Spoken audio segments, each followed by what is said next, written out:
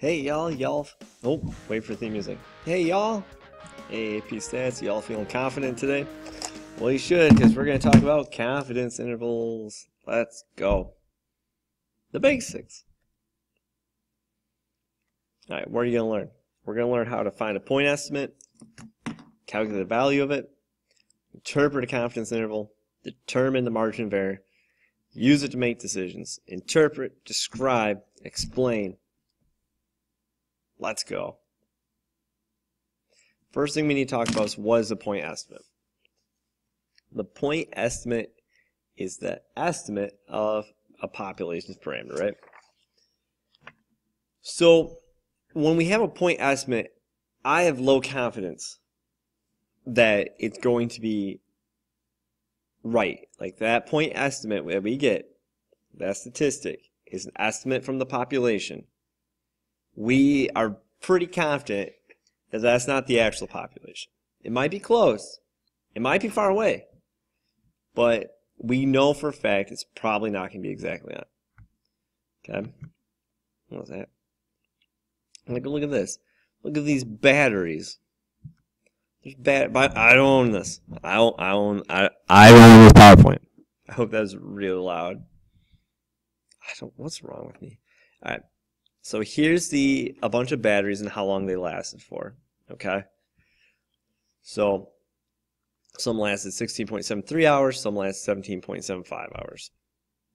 So my rudimentary self wants to find what I think the average battery will be, right?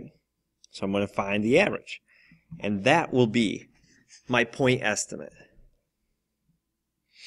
Okay? This is old school statistics, like fourth grade. I can do this, mister. I'm just going to find the average. 16.178 hours is my point estimate. Different one. Who would be a vegan or vegetarian? Not me. No offense to those who are. I just like meat too much. So we took a survey of 1,473 people. Of those 124 said that they were. So what's our point estimate? Well, this is going to be a proportion, right? And you've done this before. You just divide them. 0.084% of people will be vegan or vegetarian. Now, does that mean if I sample everyone in the world, that's what I'll get? No, it's just a guess. I'm not very confident in that. Okay? It was random, though. That's good. Let's see another one. Now we want to investigate the standard deviation of the batteries. To do that, I'd find a point estimate of the standard deviation using my calculator because I'm no fool who wants to do it longhand. It's a point estimate of standard deviation. But does that mean that is the standard deviation? No, it's just our guess. How could we have more confidence on this? Good question. That's where confidence interval comes into play. Instead of saying this one point is our estimate of the population, we're going to say this range is our estimate of the population. It gives us more confidence that the true mean, or that we, we have an idea of what the true mean is, the true proportion is. All right. Hopefully y'all paused to write this. I'm sorry. I'm going fast today. I got life to live. Snow to plow. Now, confidence interval gives an interval for plausible values for a parameter based on sample data. Now, when you hear the term plausible, don't think possible. In fact, when you hear plausible, you should be thinking, uh, we wouldn't be surprised if the true mean was in the interval. Okay? Or the true proportion, the true parameter. Make sense? If not, you can always ask me. I'll say something crazy and then I'll actually answer you. Like always. Now, you can have different percent confidence levels. If you took AP Bio, 95 is what you're used to. And right away, you should be thinking two standard errors, add them for, and subtract them from the mean. Now, I can have a 68%, 95, 99. Those are the most common. You could have a 75%. You could have uh, 10%. I don't know why you would, but you could. You can do anything if you put your mind to it.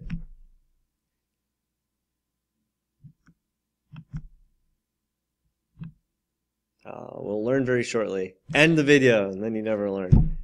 That'd be funny. Write this down, learn it, love it. This is how you interpret confidence interval.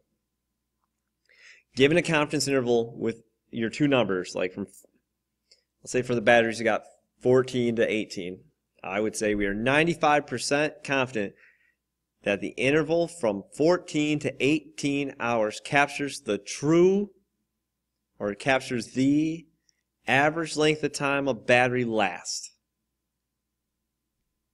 You need your percent confidence, your interval, and what you're talking about.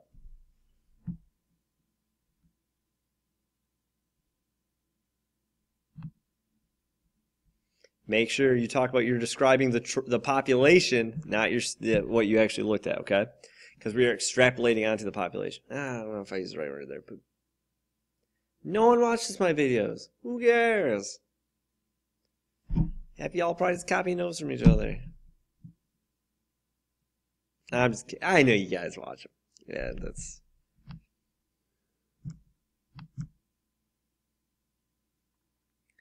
Now, in order to find a confidence interval, we need to first find, we need a margin of error and a center point. We're going to use the point estimate as the midpoint and the margin of error to find the variability to find our extremes, or low and our high. So think about this way. You have your point estimate, and then you're going to add and subtract your margin of error. Because it could be above, it could be below. I like this picture. That's a nice picture. For example, if this was it. If you see this, you eh, yeah, it's election season, y'all. It's always election season. They'll say the polls say that they're winning by 45% plus or minus 3%. That's the margin of error in their point estimate. The point estimate is 45%, the plus minus 3% is the margin of error. Take this example was 65%, plus or minus margin of error 3.7%. Right?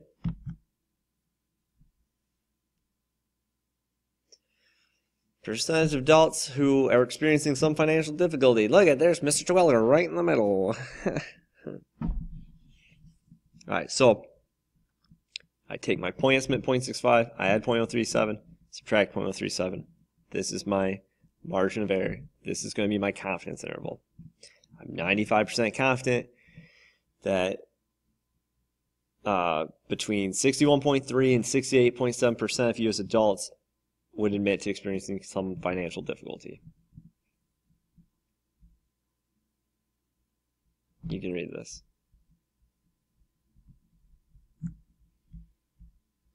All right, keep going, keep going, keep going.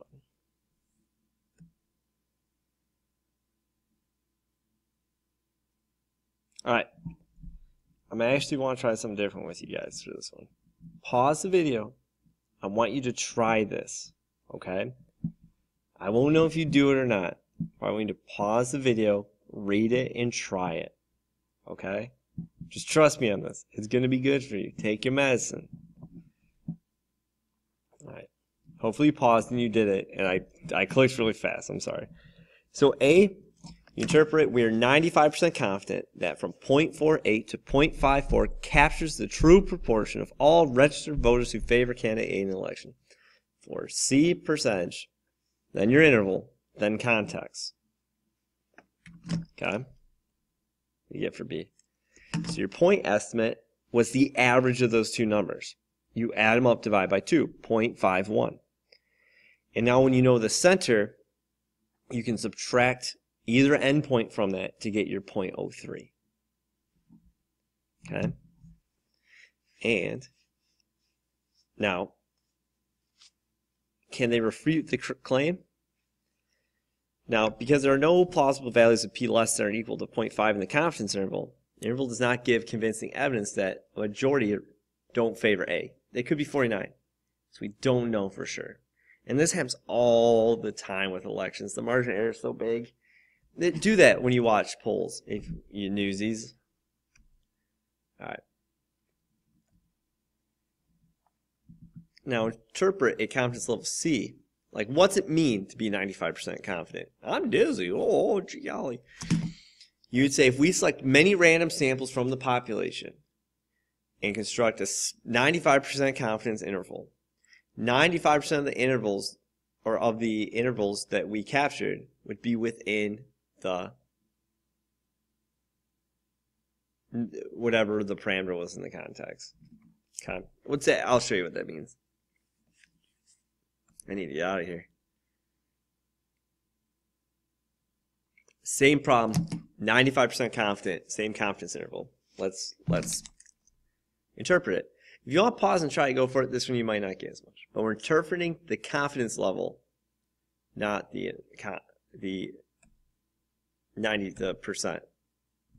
So if we were to select many random samples of voters and construct 95% confidence intervals, 95% of those intervals would capture the true proportion of registered voters who voted for campaign A in the election. So we're kind of like 95% sure that ours captured the true mean. Okay? There's a 5% shot we did, but 95% shot we did. Here's an example of that. We take tons of probability, tons of intervals. If we take make tons of these intervals, 95% of them will have the true mean. That means one might not, and that's okay. It'll probably be close. We will do an activity with this. You don't have to get it right away. There's my face. I love this activity. Love it. We'll do it. Don't worry. This is just an intro. Yeah, we'll talk about that in class. Read this. This was a really bad video, but a lot of this I want to do with activities, okay? So I hope you guys enjoyed. Have a good life. Don't get iced in.